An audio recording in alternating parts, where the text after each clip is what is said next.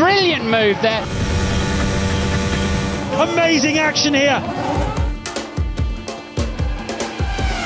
Now Hamilton is right up behind Raikkonen and he goes for it down the outside of the bus stop. Raikkonen's not giving anything away. They almost touch, they do touch. Hamilton will have to give the corner back. They're side by side. He'll have to have a go at him at La Source. Okay, now Raikkonen's back in front and Hamilton's going to attack him. He goes on the inside. Raikkonen trying to play it cool, but he went wrong for him. Hamilton's Oh, through. They touch again. Amazing action here at Spa-Francorchamps. But Lewis Hamilton is back in the lead with two laps to go. Looks like Raikkonen's run wide there.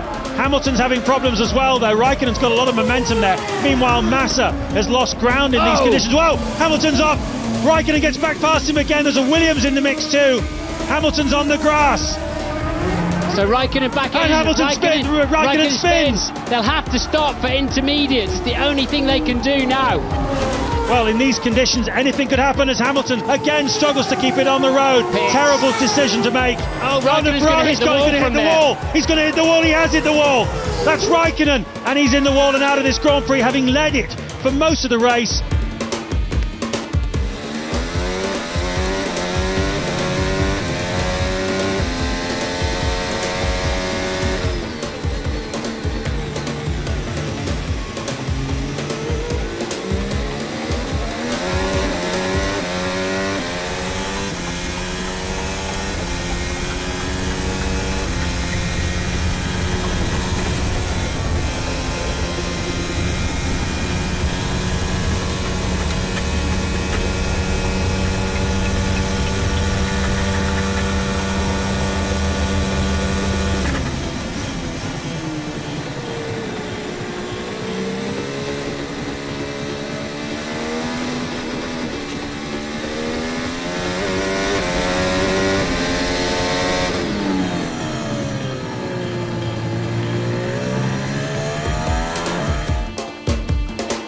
Over Raidillon. Now it's here that Mika Hakkinen can close up. I don't think he's close close enough to stop. He, he is close enough, Murray. He has got the slipstream. We know he's got 10 miles, uh, 10 kilometres an hour extra. But Michael Schumacher very firmly closing the door, leaving Hakkinen nowhere to go at all. Hakkinen had the speed. He didn't have anywhere to use it. Once again, look, Michael's having to defend, and Mika, and there's a, but the back marker's in the way.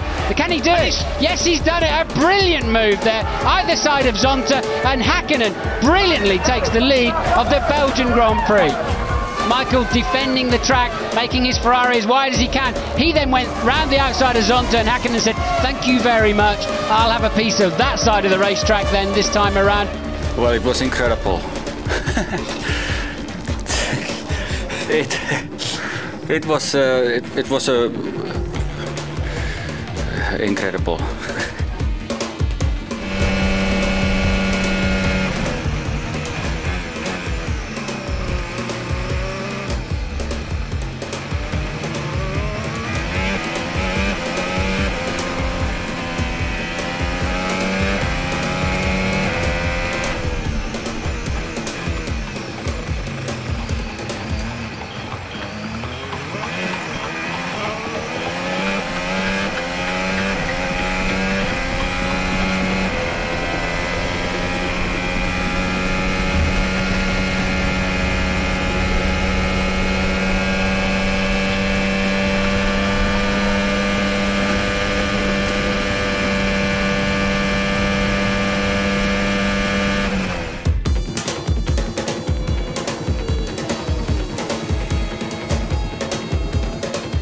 Gerhard Berger thought he would follow Prost's example, and for a few seconds it looked as though he'd got away with it. But the young Italian belied the baldness of his tyres to reclaim third position almost before he'd lost it.